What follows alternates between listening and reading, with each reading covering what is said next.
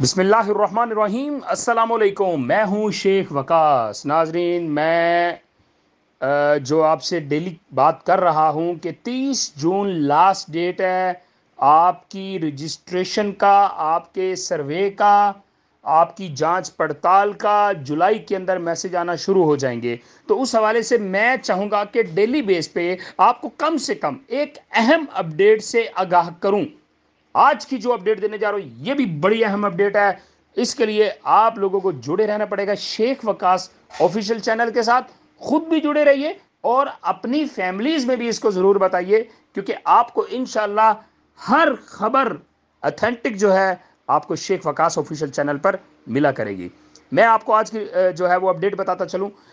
پاکستان کے اندر، پاکستان کے اندر جو پرانی مائیں بہنیں پیسے لے رہی ہیں کم سے کم دس لاکھ بہنوں کا صفایا وہ اس تیس جون تک کر دیں گے۔ آپ لوگ چاہتے ہیں کہ آپ کا صفایا نہ ہو تو آپ اپنا سروے لازمی کروا لیں۔ اپنا سروے آپ ضرور کروائیں اور ڈائنامک رجسٹریشن جو ہے وہ بھی آپ ضرور کروا لیں۔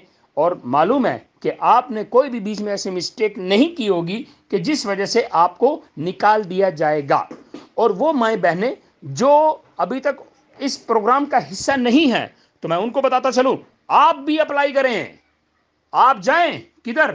اپنے جو قریبی، جو آپ کے وہ احساس کفالت پروگرام کے جو دفتر ہیں، بے نظیر انکم سپورٹ پروگرام کے جو آفس ہیں، وہاں جائیں، اپنا سروے کروائیں۔ آپ خود جائیں، ساتھ میں اپنے بندے کو مت لے کے جائیں۔ رجسٹرڈ نمبر دیں انہیں، اپنا آئی ڈی کارڈ دیں، ایف آر سی دیں فیملی کی، اور آپ ان کو اپنے گھر کا بجلی کا بل بھی جمع کروائیں۔ اور ان کو بتائیں کہ ہم بہت غریب ہیں۔ ہم حقدار ہیں اس چیز کے۔ اپلائی تو کریں نا۔